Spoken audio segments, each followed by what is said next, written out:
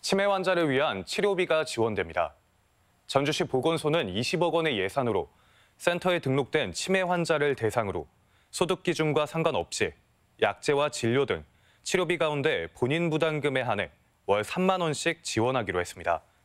내년 2월까지 등록 치매 환자 집계가 진행되는데 대상자에게는 치매 치료 관리비 지원 안내문이 발송됩니다.